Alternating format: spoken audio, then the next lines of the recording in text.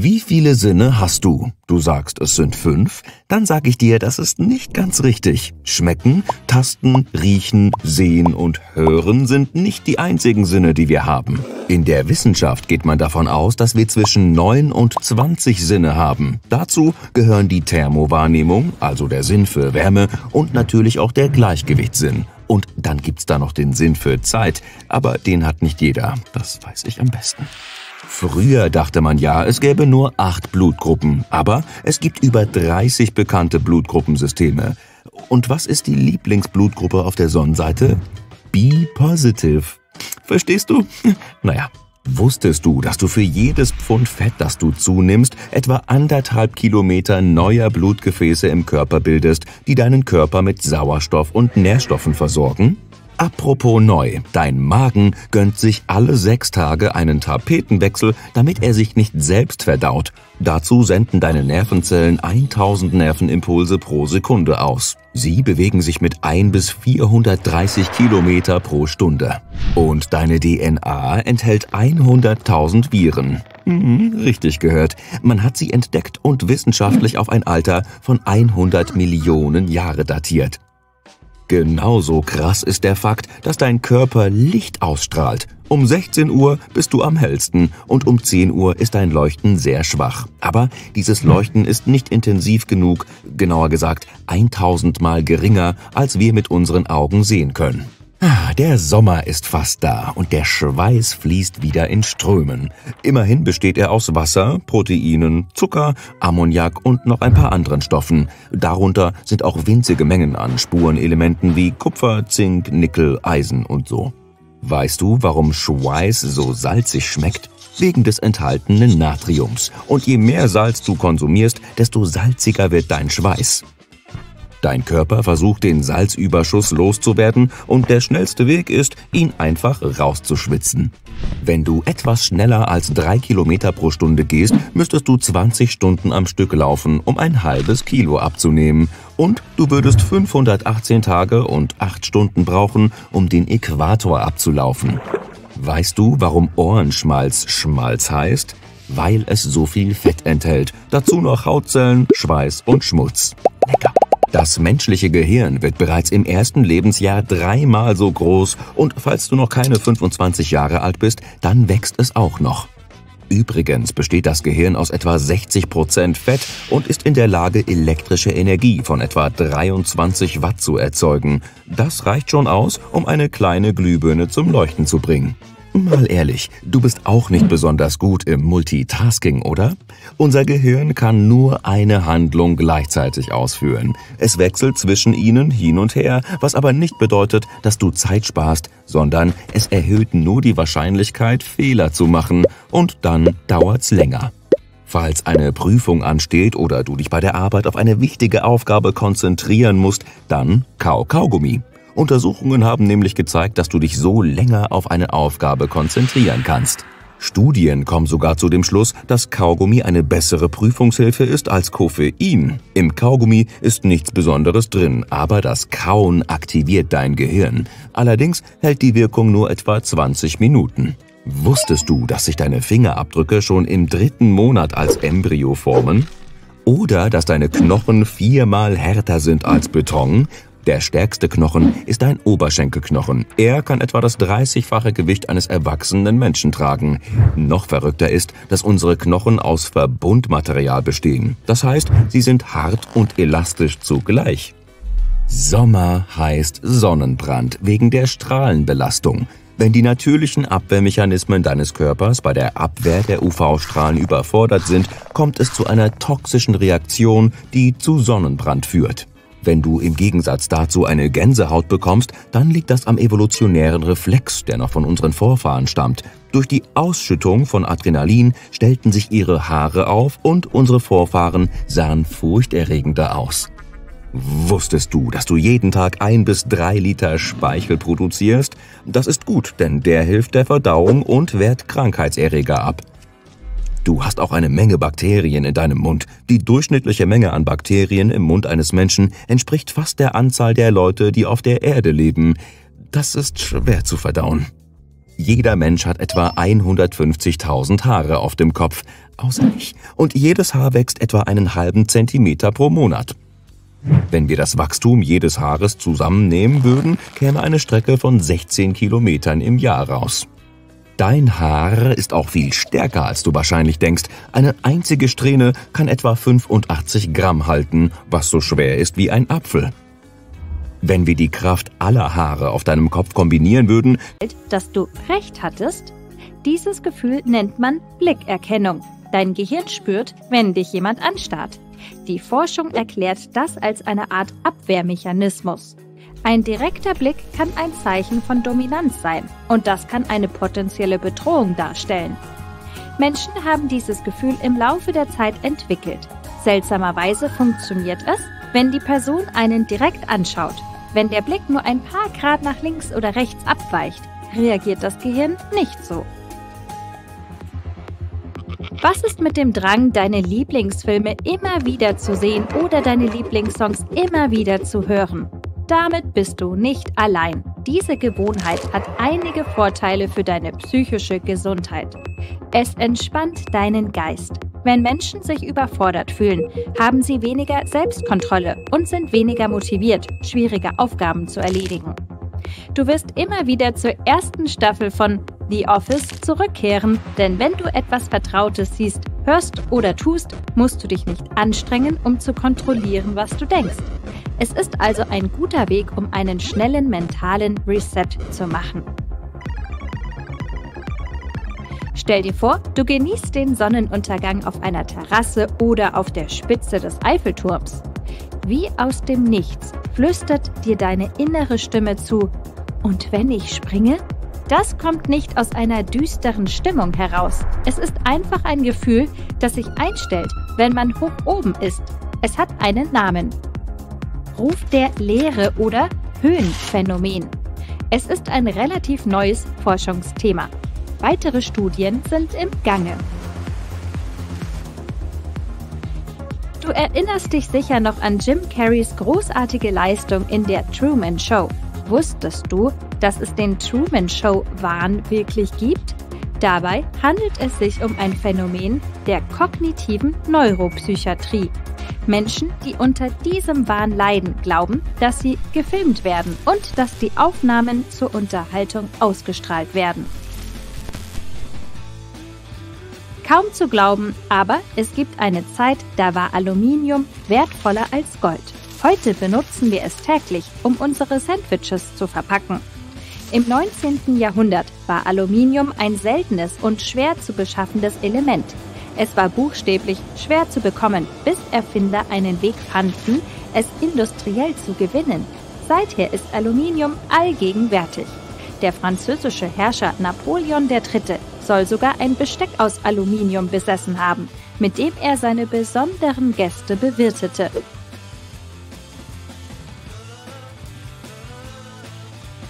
Im Jahr 2009 fand eine Party für Zeitreisende statt.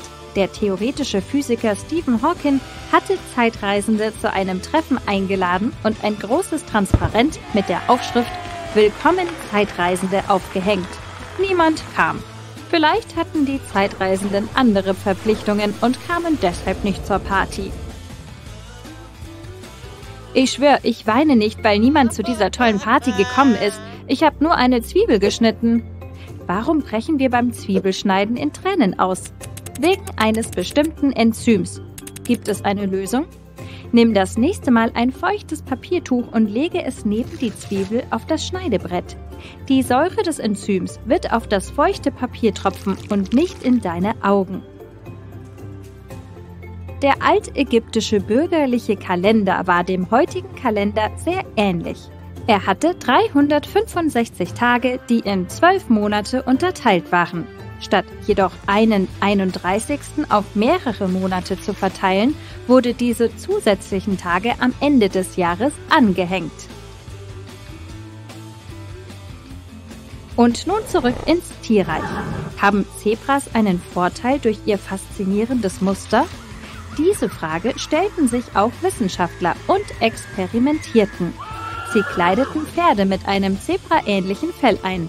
Das Fell bedeckte den ganzen Körper der Pferde. nicht aber den Kopf. Und siehe da, das Zebramuster schreckte Fliegen ab. Die Wissenschaftler beobachteten, dass die Fliegen nur auf den Kopf der Tiere flogen und sich vom Körper fernhielten.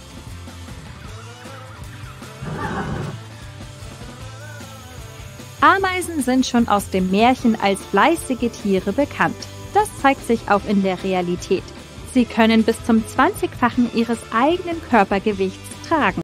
Diese Bereiche regelmäßig zu säubern, da sie schnell zu einem Sammelbecken für alle möglichen Kleinigkeiten werden können, wie zum Beispiel Pommeskrümel oder nasse Badeanzüge, die irgendwann anfangen zu stinken. Für alle Fälle sollte man Reinigungsmittel im Auto mitführen.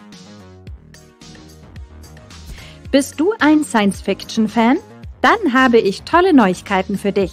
Fliegende Autos könnten bald Wirklichkeit werden. Und das nicht nur, weil sie cool aussehen. Die Hersteller arbeiten aus praktischen Gründen an der Entwicklung solcher Fahrzeuge.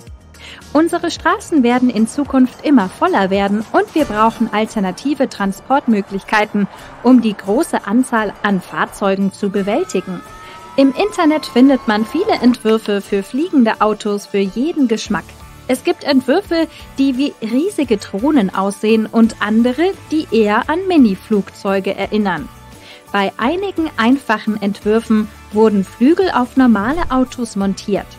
Vielleicht wunderst du dich über die Schneeflocke, die ab und zu auf dem Armaturenbrett auftaucht. Das ist ein Sensor, der die Außentemperatur misst und bei einem plötzlichen Temperatursturz Alarm schlägt. In einigen Fällen gibt es sogar ein akustisches Warnsignal oder eine Anzeige im Armaturenbrett, die dich auf Glatteisgefahr aufmerksam macht, damit du entsprechend reagieren kannst, indem du langsamer fährst oder die richtigen Reifen montierst. Autos sind heute nicht mehr ausschließlich für die kalte Jahreszeit konzipiert. Vielmehr bieten sie auch in den Sommermonaten praktische Funktionen. Ein Beispiel sind Sonnenblenden, die den Fahrer vor direkter Sonneneinstrahlung schützen. Einige Modelle verfügen über Zusatzfunktionen wie ausziehbare Sonnenblenden, die eine größere Fläche abdecken. Wenn dein Auto keine ausziehbaren Sonnenblenden hat, kannst du eine Sonnenblendenverlängerung kaufen, die einfach an den vorhandenen Sonnenblenden oder an den Fenstern befestigt wird und für mehr Schatten und Sicht sorgt.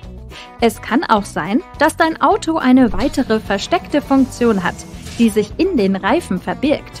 Einige moderne Autos sind mit schaumgefüllten Reifen ausgestattet, die entwickelt wurden, um das Problem der platzenden Reifen zu lösen. Der Vorteil von schaumgefüllten Reifen ist, dass sie viele der Vorteile von luftgefüllten Reifen bieten, aber nicht undicht werden können. Normale, luftgefüllte Reifen verlieren mit der Zeit Luft, auch wenn sie nicht beschädigt sind. Die meisten Fahrzeuge mit schaumgefüllten Reifen sind jedoch nicht vollständig mit Schaum oder Luft gefüllt, sondern mit einer Mischung aus beidem. Diese modernen Reifen haben den Vorteil, dass sie den Lärmpegel der Autos senken. Elektroautos sind normalerweise leiser, aber durch den Einsatz von Schaumstoff sind sie jetzt so leise wie eine Katze.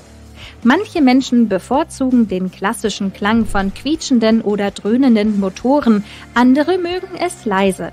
Aber auch Fans von lauten Motoren werden die Ruhe der neuen Modelle schätzen, denn sie sind immer noch sehr schnell. Ich selbst fahre so ein Auto und es macht mir sehr viel Spaß. Vielleicht hast du schon einmal von einer Funktion gehört, die sich AEB nennt. AEB steht für Automatic Emergency Braking und erkennt mit Hilfe von Sensoren eine drohende Kollision. Wird es aktiviert, bremst es automatisch, um Schlimmeres zu verhindern oder den Aufprall abzumildern. Es gibt zwei Arten von AEB. Eines das nur bei niedrigen Geschwindigkeiten funktioniert und eines, das bei allen Geschwindigkeiten funktioniert. Wenn das Fahrzeug nicht vollständig zum Stillstand gebracht werden kann, mildert das AEB-System den Aufprall so weit wie möglich ab, um den Schaden so gering wie möglich zu halten. Moderne Autos sind heute mit hochentwickelten Systemen ausgestattet, die den Fahrer vor Kollisionen mit Fußgängern warnen und das Fahrzeug automatisch stoppen können, um Unfälle zu vermeiden. Diese Systeme arbeiten mit speziellen Sensoren, die auch Fahrräder und Tiere erkennen können.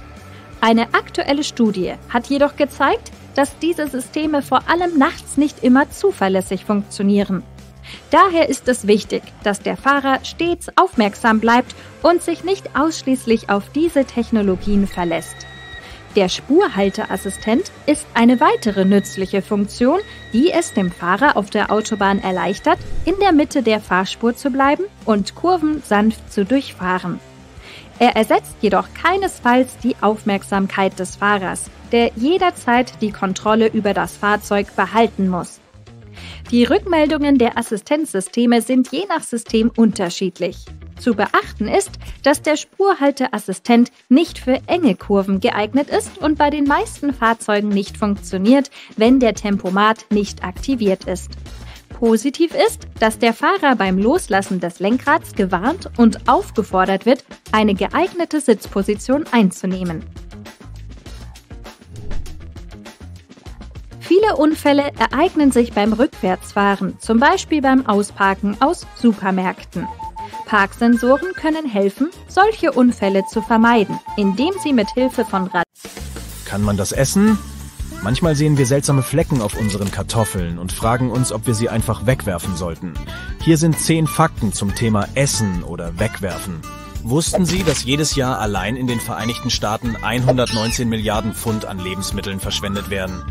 Diese Zahl bedeutet, dass fast 40 Prozent aller Lebensmittel in Amerika verschwendet werden. Die Menschen werfen Lebensmittel weg, wenn sie kein Vertrauen in die Inhaltsstoffe haben. Sie sind vorsichtig und das macht auch Sinn. Aber was ist, wenn das Essen sicher ist und nur komisch aussieht? Der erste Punkt auf dieser Liste ist Rindfleisch. Wenn es um Fleisch geht, sind die Menschen natürlich besonders vorsichtig. Stellen Sie sich vor, Sie kaufen rohes Rindfleisch im Laden. Später stellen Sie fest, dass es ein paar braune Flecken hat. Wenn Sie es sofort wegwerfen würden, hören Sie mir zu. Das ist normal. Tatsächlich können Sie auch im Inneren des Rindfleischs braune Schichten sehen. Leuchtend rote Farbe bedeutet frisches Fleisch, oder? Nicht unbedingt. Wenn das Fleisch zum ersten Mal geschnitten wird, ist es kastanienbraun. Wenn das Fleisch schnell vakuumverpackt wird, behält es diesen Farbton BA. Wenn das Fleisch jedoch etwa 15 Minuten lang der Luft ausgesetzt wird, verändert der Sauerstoff das Aussehen zu rot. Die Rötung kann sich in braun verwandeln, wenn die biochemische Reaktion einsetzt. Das kann ein paar Stunden dauern. Die Mitarbeiter in den Lebensmittelgeschäften schleifen das Fleisch mehrmals am Tag, um diese leuchtend rote Farbe zu erreichen. Denn sie wissen, dass die Verbraucher bei rotbraunem Rindfleisch vorsichtig sind. Wenn das Rindfleisch in sauerstoffdurchlässigen Kunststoff eingewickelt ist, färbt es sich hellrot, sobald es Sauerstoff ausgesetzt ist. Solange das Fleisch frisch riecht und sich frisch anfühlt und ordnungsgemäß gelagert wurde, sollte es unbedenklich zu essen sein. Haben Sie schon einmal dunkle Linien unter einer Garnelenschale entdeckt? Diese hat eine ähnliche Geschichte wie Rindfleisch. Schwarze Linien auf dem Fleisch. Ihre Garnelen sind auf ein natürliches Phänomen zurückzuführen. Sie entstehen allmählich, nachdem die Garnelen aus dem Wasser genommen wurden. Das Fleisch wird dem Sauerstoff ausgesetzt und die Schwärze wird mit der Zeit immer deutlicher sichtbar. Auch hier kann das Muster des Tieres selbst eine Rolle spielen. Diese schwarzen Linien können eine natürlich vorkommende Verfärbung der Garnelen sein. Denken Sie an Katzen. Sie haben auch unterschiedliche Farbmuster, aber sie sind von der Art her gleich. Das nächste Mal können Sie ein kleines Experiment in Ihrer Küche durchführen. Legen Sie ein paar Garnelen nebeneinander und beobachten Sie die leichten Unterschiede in den Farbmustern der Garnelen. Wenn eine Garnele nicht mehr genießbar ist, riecht sie deutlich schlecht. Wenn sie also frisch riecht und schmeckt, sollten Sie sie nicht wegwerfen. Sollte man verschimmelten Joghurt essen? Die grüne Substanz auf der Oberfläche sieht überhaupt nicht ansprechend aus. Aber wenn man sie herauslöffelt, scheint der Joghurt darunter sauber zu sein. Die kurze Antwort lautet wegwerfen. Der Schimmel ist zwar nur an der Oberfläche zu sehen, aber er hat sich wahrscheinlich tief eingegraben. Ganz zu schweigen davon, dass er schlecht schmecken wird. Viele Schimmelpilze sind harmlos, aber einige produzieren giftige Stoffe. Grüner Schimmel ist eine Art von Penicillium. Kommt Ihnen dieses Wort bekannt vor? Das ist dieselbe Schimmelpilzart, die auch für das Antibiotikum Penicillin verwendet wird. Seien Sie nicht zu begeistert. Der Verzehr von schimmeligem Joghurt heilt bakterielle Infektionen nicht auf magische Weise. Er verdirbt nur ihr Milchprodukt. Im Jahr 2013 gab es einen Ausbruch im Zusammenhang mit einer Joghurtserie. Das Unternehmen lieferte die Produkte wie üblich an die Geschäfte aus. Nach einiger Zeit gingen bei dem Unternehmen Kundenbeschwerden ein. Sie sagten, dass der Joghurt wie eine Joghurtsuppe aussah und wirklich alt schmeckte. Es stellte sich heraus, dass eine Pilzart wahrscheinlich etwas Kohlendioxid freisetzte. Das machte das Produkt sprudelnd und blähend. Sowohl das Unternehmen als auch ein anderer unabhängiger Wissenschaftler erklärten, dass der fragliche Pilz für den Menschen normalerweise nicht schädlich sei. Dennoch berichteten mehr als 200 Personen, dass sie davon betroffen waren. Solche Dinge können also immer noch vorkommen. Sie sollten auf Ihren Spürsinn vertrauen. Wenn Sie jemals das Glück hatten, in einer frisch geöffneten Verpackung Schimmel zu entdecken, wenden Sie sich an den Hersteller. Wenn Sie das Unternehmen auf ein systematisches Problem aufmerksam machen, ersparen Sie anderen möglicherweise das gleiche Szenario und verhindern, dass in Zukunft Produkte verschwendet werden. Außerdem ist das Unternehmen wahrscheinlich gewillt, den Schaden wieder gut zu machen und Ihnen entweder Ihren traurigen Joghurt durch einen glücklichen zu ersetzen oder, was noch besser ist, Ihnen Gutscheine für kostenlose Produkte zu geben. Warum haben Avocados manchmal braune Flecken im Inneren? Technisch gesehen sind sie essbar, aber man sollte sie vielleicht nicht essen. Avocados sind eine Quelle für viele Vitamine wie C, E, K und B6 sowie für gesunde Stoffe wie Magnesium, Kalium und mehr. Die Avocado arbeitet hart daran, ein solcher Gesundheitsspeicher zu werden. Nährstoffe, Wasser und Zucker wandern um diese Frucht herum. Ja, technisch gesehen wird die Avocado als Frucht eingestuft. Wie auch immer, Avocados haben ihre eigenen Transportkanäle, wie Adern. Diese Kanäle sind für uns normalerweise unsichtbar, bis etwas aus dem Rahmen fällt. Es kann sein, dass die Avocado länger als nötig bei zu kalten Temperaturen gelagert wurde. Das kann dazu führen, dass die Gewebezellen geschwächt werden und anfangen zu zerfallen. Experten sagen, dass nach der Ernte der Frucht, wenn sie vor dem Kauf einige Wochen im Kühlschrank liegt, ein Hydrant am Straßenrand ist etwa einen Meter hoch, aber das ist nur die Spitze des Eisbergs. In Wirklichkeit ist diese Wasserversorgung für die Feuerwehr doppelt so groß, wenn man den Teil des Hydranten, der sich im Boden befindet, mitrechnet. Die grellen Farben, in denen sie gestrichen sind, haben nicht nur ästhetische Gründe. Zunächst einmal müssen sie auffällig aussehen, um schnell gefunden zu werden. Darüber hinaus hängt die Farbwahl mit der Kapazität des Hydranten zusammen. Sie variiert je nach Standort. Ein roter Hydrant fördert etwa 1900 Liter Wasser pro Minute. Ein orangener liefert ganze 3800 Liter und ein grüner Hydrant hat einen Durchfluss von 5700 Litern pro Minute. Die leistungsstärksten Exemplare sind blau und fördern über 5700 Liter. Hey Bowling-Freunde, ist es nicht total ärgerlich, wenn die Bowlingkugel Risse bekommt? Meist kommt es zu solchen Schäden aufgrund falscher Lagerung oder hoher Temperaturschwankungen. Aber da sie schon mal kaputt ist, bist du nicht neugierig, was sich in einer Bowlingkugel befindet. Schauen wir einmal nach. Der Kern der Kugel besteht vorrangig aus pulverförmigen Metalloxiden wie Calcium oder Eisenoxid. Zum Aushärten wird das Pulver mit Harz und einem Katalysator vermischt. Der glühbirnenförmige Teil in der Kugel ist die schwerste Komponente. Sie beeinflusst die Rotation der Bowlingkugel und wie sie die Bahn entlang läuft. Wenn du eine Spraydose schüttelst, macht sie seltsame Geräusche. Was ist da drin und warum? Diese kleine Kugel wird Erbse genannt und sorgt für die Durchmischung des Inhalts. Sie besteht aus Kunststoff, Metall oder Keramik. Im Prinzip rührt die Kugel die Mischung in der Dose gut um, bevor du den Inhalt verwendest. Hast du dich je gefragt, wie der Sprudel in der Flasche gehalten wird? Im Deckel von Getränkeflaschen befindet sich ein kleiner Kunststoffring. Er verhindert, dass das Gas austreten kann, auch wenn du deine Flasche den ganzen Tag in der Tasche umherträgst. Da wir gerade bei Dingen sind, die wir an heißen Sommertagen brauchen, Moment, setz deine Baseballkappe noch nicht auf. Sieh sie dir kurz an. Siehst du den Knopf ganz oben? Hat er eine Funktion oder ist er nur Bestandteil des Designs? Früher, als die ersten Stoffmützen aufkamen, war dieser Knopf noch notwendig. Er hielt alle an der Spitze zusammenlaufenden Stoffteile zusammen. Heutzutage ist dieser Knopf allerdings nur noch ein ästhetisches Element. Er deckt die Verbindung der einzelnen Elemente ab, aber es gibt durchaus Kappen, die gar keinen Knopf haben. Mit Knopf sehen sie aber eindeutig besser aus, oder? Wattepads haben zwei Seiten. Wenn du sie dir genau ansiehst, erkennst du, dass sie unterschiedliche Texturen haben.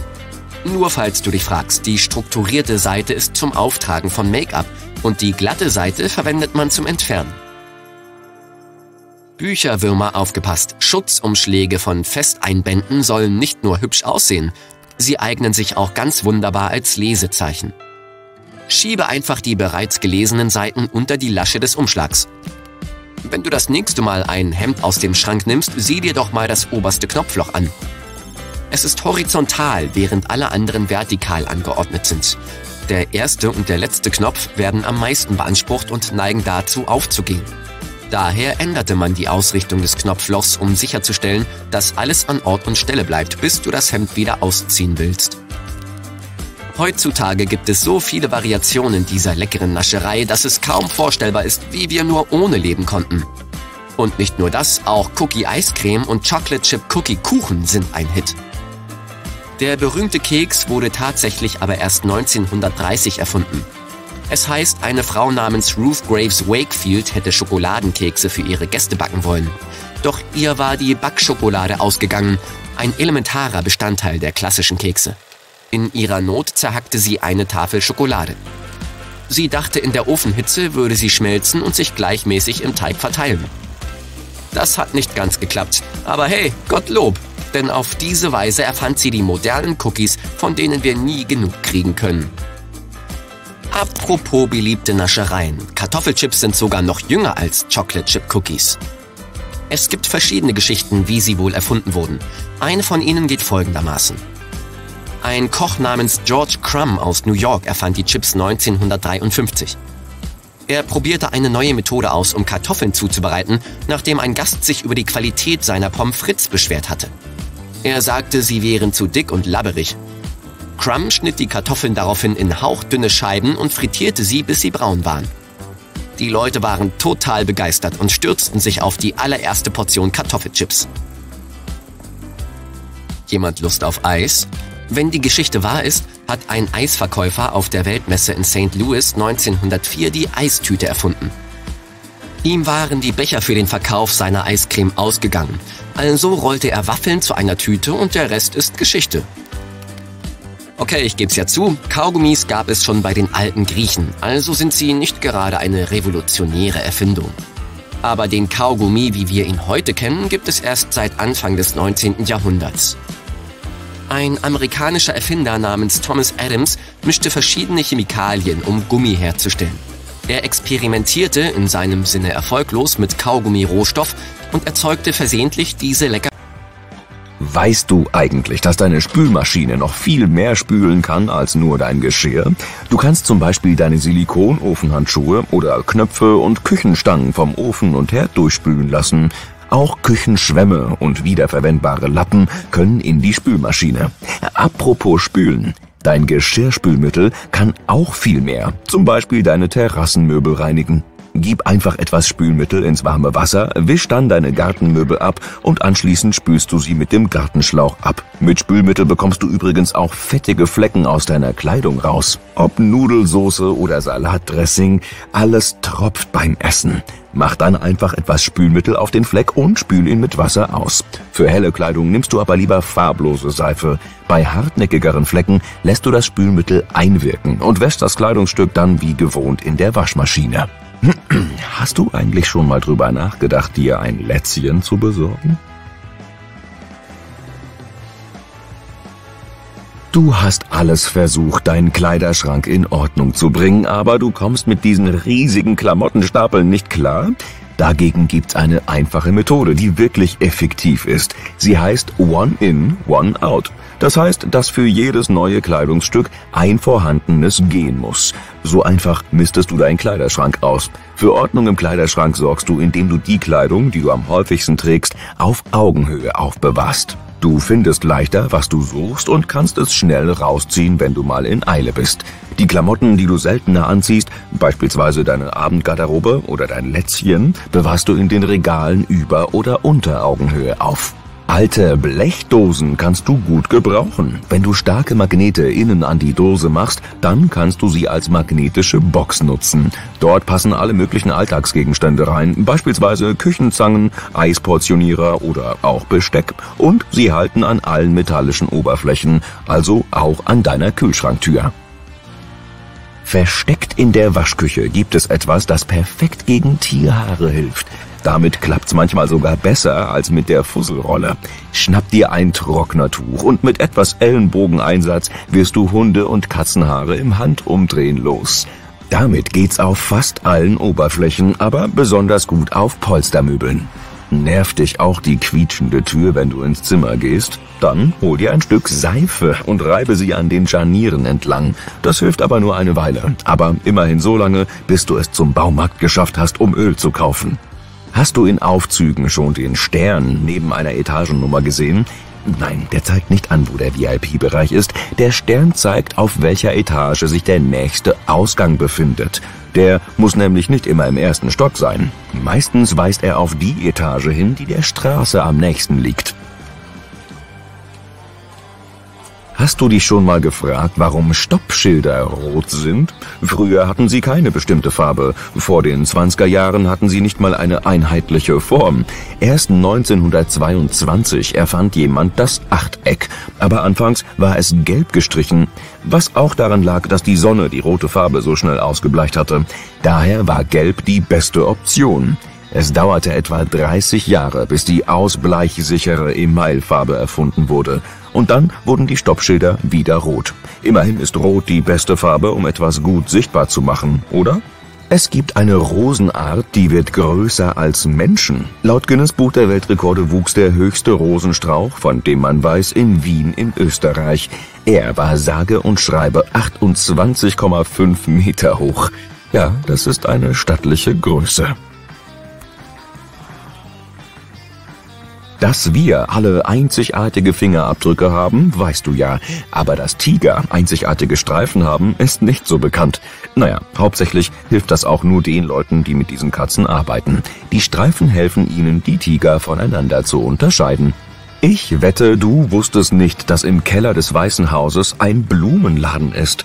Dort werden die Blumenarrangements für all die Veranstaltungen angefertigt, die dort stattfinden.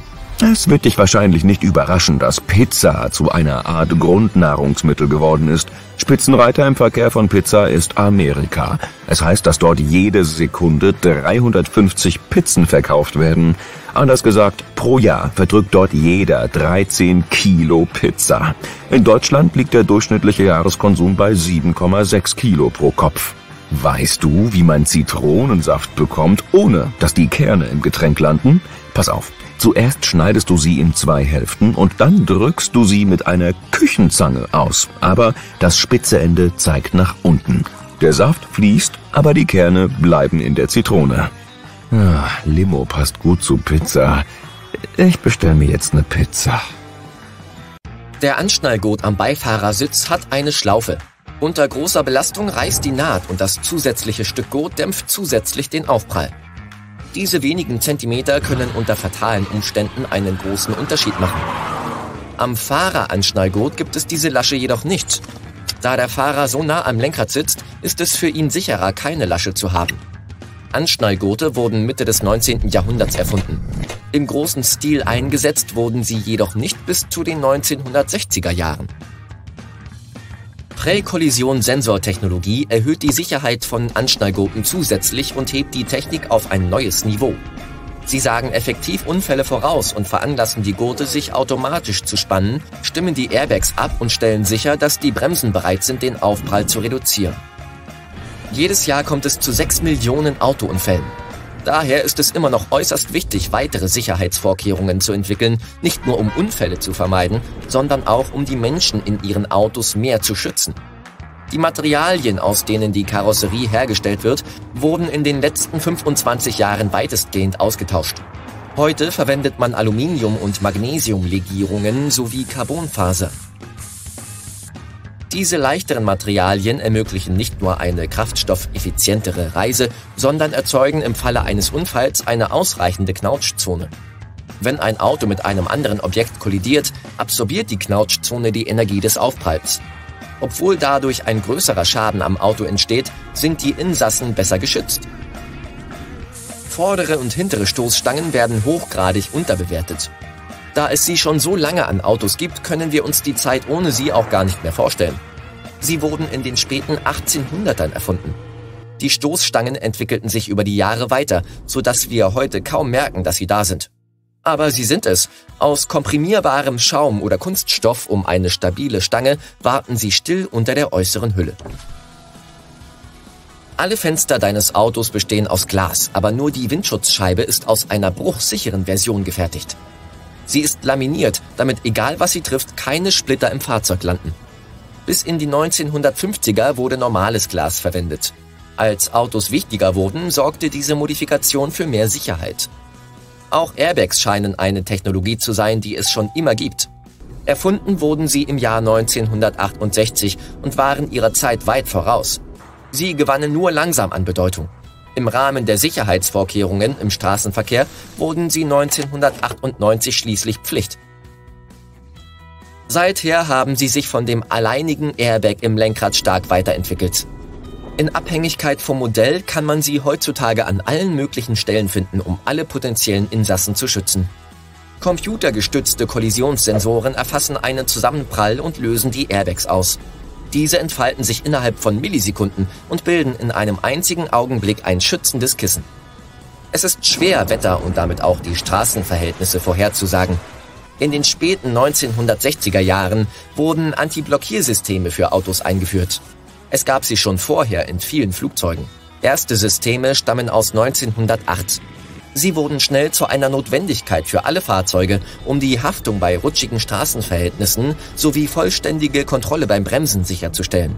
Heute hat man das ABS so weit entwickelt, dass neueste Versionen sogar starke Scherwinde berücksichtigen.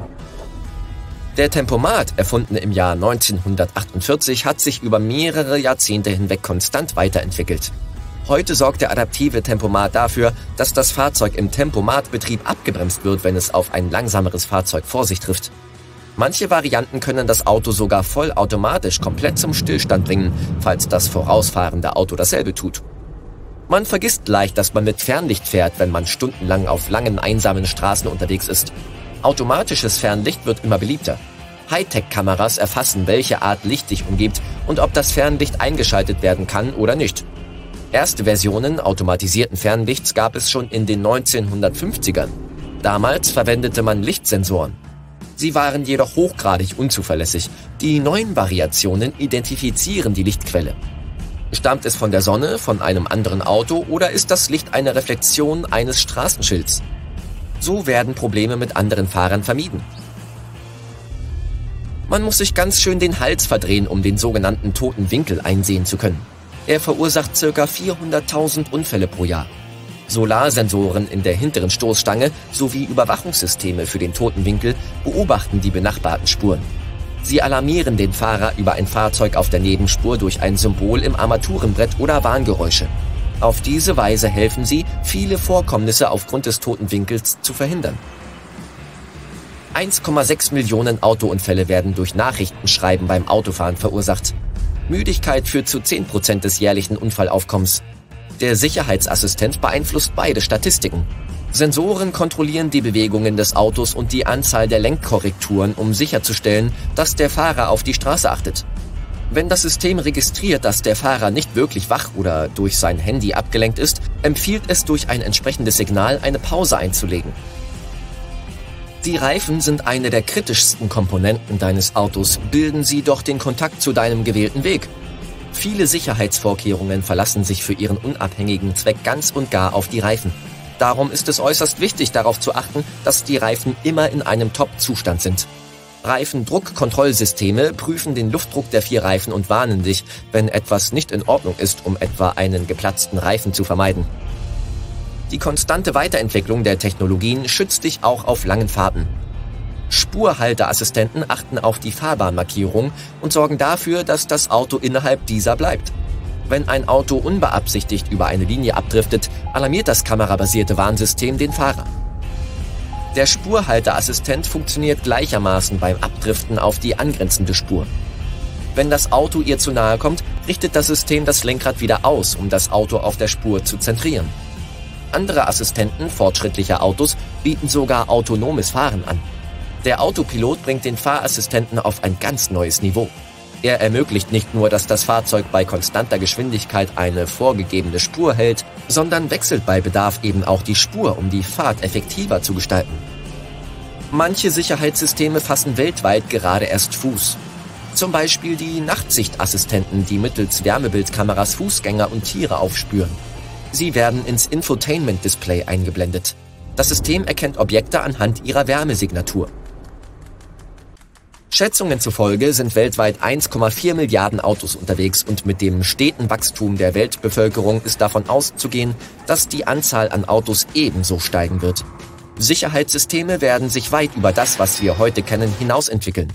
Infrarotscheinwerfer bringen Licht in ungünstige